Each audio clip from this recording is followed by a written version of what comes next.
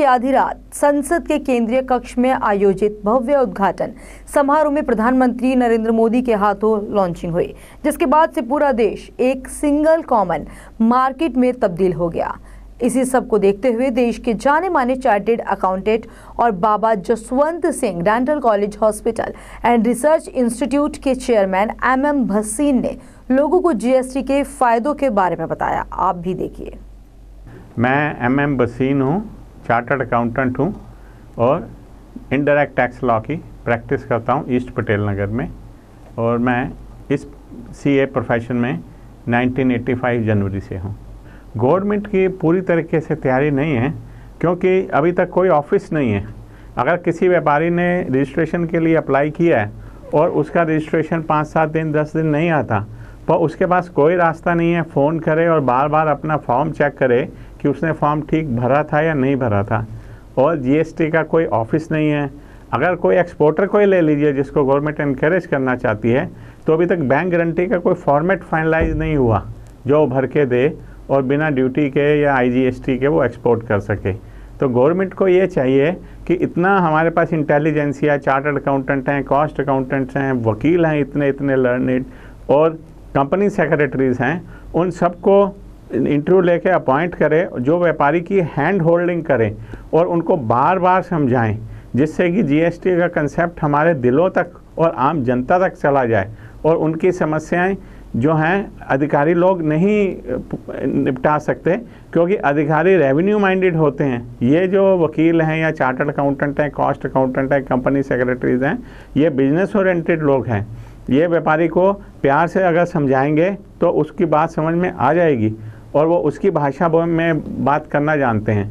तो गवर्नमेंट को इनको फैसिलिटेटर इमीडिएटली अपॉइंट कर देना चाहिए हर शहर में, कम से कम पाँच। जैसे जितनी तादाद में व्यापारी या उनके अकाउंटेंट या उनके सलाहकार जो भी समस्याएँ लेके आएँ, और उनको सॉल्व करें और वहीं पर एक मैनुअल बना लें कि इस क्वेश्चन का ये जवाब है। तो उस ट्रेड का कोई अगला आदमी आएगा तो उसको वो जवाब दे दें प्रिंटेड इससे वो समस्याएँ धीरे धीरे अपने आप कम होती जाएँगी। अभी बड़ा एक खौफ सा माहौल आया हुआ है लोगों के मन में। हालाँकि गवर्नमेंट ने रिटर्न्स फाइलिंग की और सब चीज़ें की डेट एक्सटेंड कर दी है, परंतु फिर भी अभी कंसेप्ट आम जनता तक नहीं पहुँचा है। उनको कन्फ्यूज़न है। इस कन्फ्यूज़न को गवर्नमेंट को ज़रूर दूर करना चाहिए। एस एस आई इंडस्ट्रीज़ में बहुत बुरा असर पड़ेगा, क्योंकि एस एस आई इंडस्ट्रीज़ को गवर्नमेंट ने अभी तक प्रोटेक्ट किया है। इवन बड़ी इंडस्ट्री अगर एस एस आई की पेमेंट टाइम पर नहीं करती तो उसको ब्याज की कई गुना दर पे उसको एस एस आई इंडस्ट्री को देना होता है। सबसे पहली बात यह है कि गवर्नमेंट मन से और कानून से तो एसएसआई की मदद करना चाहती है, परंतु एसएसआई की लिमिट जो डेढ़ करोड़ एक्साइज में थी, उसको घटा के इन्होंने 20 लाख कर दिए। तो एसएसआई जैसे मार्बल ट्रेड में, एक्सट्रैक्शन में थी, फर्नीचर फिक्सर ट्रेड में छोटे छोटे कारीगर एक एक दो दो बनाते थे एक दो तीन कारीगर मिलकर डेढ़ करोड़ तक का माल बनाते थे। तो एक्साइज ना लगने की वजह से उनको एक एडवांटेज था। वो एडवांटेज ख़त्म हो गया। ऐसे राजस्थान में साउथ में जो मार्बल एक्सट्रैक्शन की यूनिट्स थी छोटी छोटी पहाड़ियों में वो काम करते थे और एक एक डेढ़ डेढ़ करोड़ रुपए का काम करते थे। उनको भी अब 20 लाख पर ही एक्साइज देनी शुरू हो गई है। तो गवर्नमेंट ने ये बनाया भी, अगर तुम्हारे पे एक्साइज चौदह है वैट चौदह है तो चलो 28 परसेंट के स्लैब में आ जाओ। परंतु वो 28 परसेंट के स्लैब बनाते समय वो जो एक्सरसाइज की एग्जामेशन थी और नंबर ऑफ़ यूनिट्स थी, इसको वो भूल गए।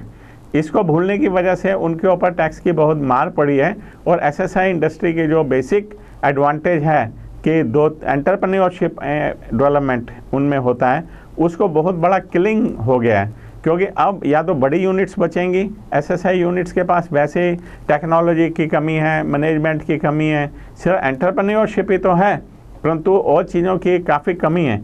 इसलिए एसएसआई इंडस्ट्रीज़ को बहुत भारी नुकसान पहुंचेगा। इवन जो घर पे एक बाइंडर है बाइंडर अब बाइंडर को कुछ टैक्स नहीं है, परंतु अब क्या है कि रिवर्स चार्ज मैकेनिज्म में बाइंडर पर भी 18 परसेंट जी लगा दिया है। इसलिए अब वो जो बाइंडर घर में अपनी वाइफ के साथ, अपनी लड़की, लड़के के साथ शाम तक बाइंडिंग कर लेता था, पाँच सौ, हज़ार रुपये की, अब उसको अगर इकट्ठा करके बेचने दुकानदार के पास जाएगा, तीस पैंतीस हज़ार रुपये का लेके तो उसको रिवर्स चार्ज मैकेनिज्म में दुकानदार को बाइंडिंग पे टैक्स देना होगा। तो जो हाउस होल्ड इंडस्ट्रीज़ हैं छोटी छोटी जो कि काम करके बड़े दुकानदारों को, बड़ी फैक्ट्रियों को देते थे, उन सब की भी बहुत खराब हालत होने वाली है। देखिए, कपड़े के व्यापार पर इसका बहुत बुरा असर पड़ रहा है, क्योंकि कपड़े के व्यापार में जीएसटी पाँच परसेंट टेक्सटाइल पर आ गया। परंतु जो इनपुट क्रेडिट है, जिसको कि ओपनिंग स्टॉक पे मिलना चाहिए इनको, वो सेक्शन 140 जो है जीएसटी एक्ट का, वो बाहर नहीं करता। परंतु सेक्शन रूल, ट्रांजिशनल रूल जो 4A1 के हैं, वो कहते हैं कि अगर आपके पास इनपुट एनवाइस टैक्सेबल नहीं है तो आपको ये ट्रांजिशनल पीरियड के लिए ओपनिंग स्टॉक पर वो जो एस सी एस टी है एस सी एस टी है, उसका क्रेडिट नहीं मिलेगा। इसलिए अभी तक गवर्नमेंट ने ये क्लैरिफाई नहीं किया है। और दूसरा कपड़े के व्यापार में जो कपड़ा के व्यापारी हैं, लगभग नब्बे, पचानवे परसेंट तो माल उनके पास है कपड़े का। कपड़े की मिलों के पास तो दो से चार, पाँच परसेंट ही कपड़ा है। इसका मतलब वो जो यान पे या प्रोसेसिंग पे जो एक्साइज और वैट दे चुके हैं, वो व्यापारी की कॉस्ट में ऑलरेडी बढ़ चुका है। इसलिए गवर्नमेंट को चाहिए कि ट्रांजिशनल रूल्स में कुछ बात करे, जिसमें टेक्सटाइल के ओपनिंग स्टॉक पे सनवेट क्रेडिट मिले, जिससे उनकी कॉस्ट जो ऑलरेडी इंक्लूडेड है, उसमें उनको कुछ राहत मिले। अब बात रही मार्बल ट्रेड की।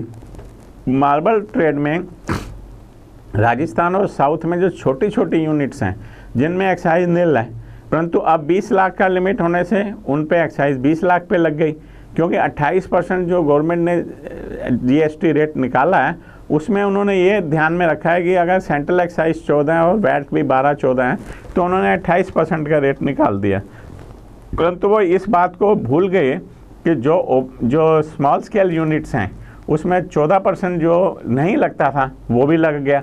इसका मतलब जो मार्बल था, वो अब 14 परसेंट महँगा हो जाएगा। क्योंकि इसमें भी मार्बल में भी 90 परसेंट के करीब एस एस यूनिट्स हैं। उन, उनकी कॉस्टिंग कम थी। अब जो है, आज से उनका जो कॉस्टिंग है बढ़ जाएगा चौदह परसेंट से। फर्नीचर फिक्सचर में भी यही है कि जैसे दो तीन कारीगर मिल के सोफ़ा बना लेते थे और वैट दे देते थे। बारह, साढ़े बारह परसेंट जो स्टेट अलग अलग वैट था। परंतु अब उस पर भी फर्नीचर फिक्सर पे भी 28 परसेंट आ गया अब एक छोटे से गरीब आदमी ने अगर दो हज़ार, ढाई हज़ार रुपये का अपनी डॉटर की शादी में बेड देना है तो अब वो ढाई हज़ार का बेड जो है, उसको पच्चीस सौ साठ रुपये का पड़ेगा। गवर्नमेंट ने यह दस हज़ार रुपये का कुछ फर्नीचर है, वो पड़ेगा बारह हज़ार आठ सौ का। तो गवर्नमेंट ने ये ध्यान नहीं रखा, भाई जो छोटे छोटे व्यापारी हैं ये इनका क्या होगा? उनके ऊपर भी इन्होंने शुरू से ही टैक्स लगा दिया है। इसलिए furniture fixture interiors marble trades में टैक्सेस का रेट बहुत हाई होने से अब क्या होगा कि ये अंडरग्राउंड बिल्डिंग स्टार्ट हो जाएगी। क्योंकि कस्टमर से सीधा 28 परसेंट मांगेंगे कस्टमर बोलेगा, नहीं, मुझे तो बिना बिल के दे दे। दुकानदार को तो सेल करना है। अब इसको इसलिए मेरी राय में मार्बल फर्नीचर फिक्सर को या तो ये इनको चाहिए कि उसकी आइटम्स जो सस्ती आइटम्स हैं, उस पर ये कुछ रेट कम करें और महँगे जो, महँगे मार्बल्स हैं, उस पर भले ही अट्ठाईस कर दें, महँगे फर्नीचर पे भले ही अट्ठाईस कर दें, परंतु जो रोज़मर्रा के यूज़ होने वाली सस्ती फर्नीचर्स की आइटम है छोटी छोटी उन पर भी 28 परसेंट का टैक्स लगाने से और मार्बल की भी छोटी छोटी आइटम्स पर 28 परसेंट लगाने से, ये इसका बहुत कैस्केडिंग इफ़ेक्ट आएगा। मेरी राय में ये बहुत गलत कदम है। जीएसटी का वर्किंग कैपिटल पर भी बहुत बुरा असर पड़ेगा।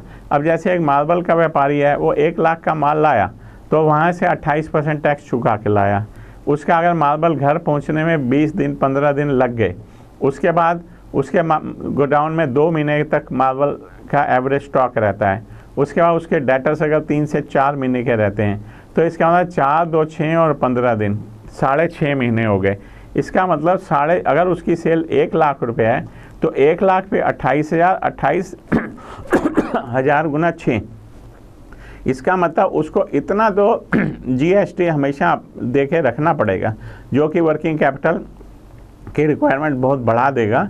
इसलिए जो छोटे छोटे व्यापारी हैं, जिनका 15-20 लाख 25 लाख से जो ट्रेड करते हैं, उनका ट्रेड ख़त्म हो जाएगा। इसमें सिर्फ़ बड़े बड़े व्यापारी बचेंगे, जो कि इतना पाँच छः महीने का जीएसटी पे करके और बिना पैसे फाइनेंस के जो काम कर सकेंगे, वही करेंगे। या बैंक फाइनेंस लेंगे तो उसमें भी काफ़ी कॉस्ट सात आठ परसेंट बढ़ने वाली है। दिल्ली के व्यापारी जो कि इंपोर्ट करते हैं, चाहे वो विशाखापट्टनम पोर्ट से करें मद्रास से, काकीनाडा से या बॉम्बे से इंपोर्ट करते हैं, और सीधा माल उनका गोडाउन पे चला जाता है। और वो धीरे धीरे दिल्ली अपने गोडाउंस में लाते हैं जैसे जैसे उनको माल की रिक्वायरमेंट होती है। अब क्या है कि इंटर स्टेट जो पहले उसको आईजीएसटी देना होगा, विशाखापट्टनम टू सोनीपत। फिर सोनीपत टू दिल्ली आईजीएसटी देना होगा। इस तरीके से उसकी टर्नओवर भी डबल हो जाएगी और जी आईजीएसटी के बिल भी दो बार कटेंगे। हालाँकि मैं मानता हूँ कि पुराने आईजीएसटी का मॉडवेट मिल जाएगा, उसमें कोई दिक्कत नहीं है। परंतु एक गोडाउन जो थर्ड पार्टी का है, वहाँ वो अपना किराए की रसीद कहाँ से लाएगा और कहाँ से अपना नंबर लेगा, उसको एक कंप्लाइंस हरियाणा की और बढ़ जाएगी। तो इस तरीके से दिल्ली के व्यापारियों को कोल्ड स्टोरेज जो दिल्ली के बाहर हैं, उनको मेंटेन करने और ऑपरेशन करने में बहुत दिक्कत आएगी। इसलिए मैं ये भी मानता हूँ कि ये जीएसटी लगने से जो व्यापारी दिल्ली में आता था और सब चीज़ें ड्राई फ्रूट कपड़ा और करियाने का सामान लेके इकट्ठा ही चला जाता था अब उसको कोई दिल्ली में एडवांटेज नहीं मिलेगा। और दिल्ली की जो बड़ी व्यापार की मंडियाँ हैं, उनको काफ़ी दिक्कत आने वाली है।